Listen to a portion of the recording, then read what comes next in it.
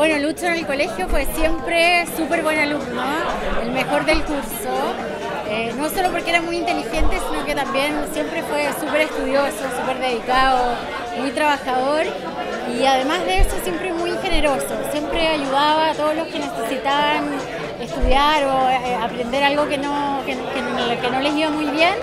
Así que la verdad que yo creo que Lucho sería un gran aporte para, para nuestro Congreso, porque es una persona muy inteligente, muy trabajadora eh, y además al que le importan mucho a los demás, que siempre se preocupa por ayudar a las, otras, a las demás personas.